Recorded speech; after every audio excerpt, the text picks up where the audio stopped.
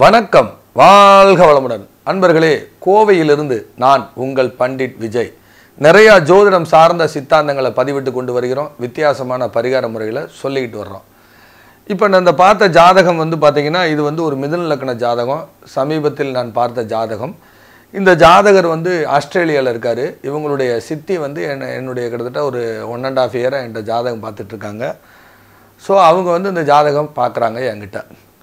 இதில் அவங்களுடைய டேட்டா பிறகு டைம் எதுவும் கொடுக்கல. ஏன்னா இன்னொருத்தருடைய ஜாதகத்தை பதிவிடுவது தவறு அவங்களுடைய அனுமதி இல்லாமல். ரெண்டே ரெண்டு கிரகம் போட்டிருக்கேன்.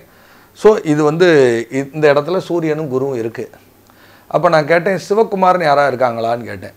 இவர் திருமணமே ஆகலை. ஸோ நான் என்ன கேட்டேன்னா சிவகுமார்னு யார் இருக்கா? அப்படின்னே சிவகுமாருங்கிறது ஒரு இவருக்கு வந்து சித்தப்பா இருப்ப இவருக்கு தம்பி முறையில் ஒருத்தர் இருக்கார். சரி சரி சிவகுமாருங்கிறது அவங்களுடைய தாய் மாமா பேர் சிவகுமார். சரி சஞ்சய் சஞ்சீவ்னு யார் இருக்கானே? சஞ்சீவிங்கிறது இன்னொரு தாய் மாமா.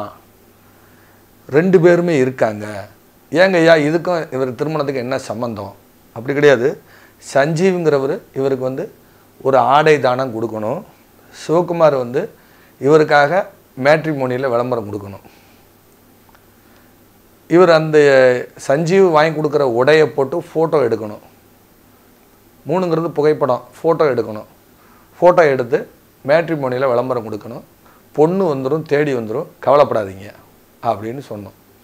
அதே மாதிரியே சஞ்சீவுங்கிறவர் அவருக்கு ட்ரெஸ் வாங்கி கொடுத்து அவர் இங்கே லீவுக்கு வந்திருந்தப்ப வாங்கி கொடுத்து சிவகுமாருங்கிறவர் மேட்ரிமோனிலெல்லாம் விளம்பரம் கொடுத்து ஸோ அவருக்கு திருமணம் ஆயிடுச்சு ஸோ நான் சொல்லக்கூடிய பரிகாரம் சற்றே வித்தியாசமானது. ஒருவருக்கு சொன்ன பரிகாரம் ஒருவருக்கு வராது. அப்போ இந்த குருங்கிறது என்ன அப்படின்னா குரு சூரியன் தான் சிவராஜ் சிவகுமார் குரு கேதுவோட நட்சத்திரத்தில் இருக்கார். கேது வந்து மூல நட்சத்திரம் ஆஞ்சநேயருடைய நட்சத்திரம். அப்போ குருவே போய் எங்கே எங்கே இருக்கார்?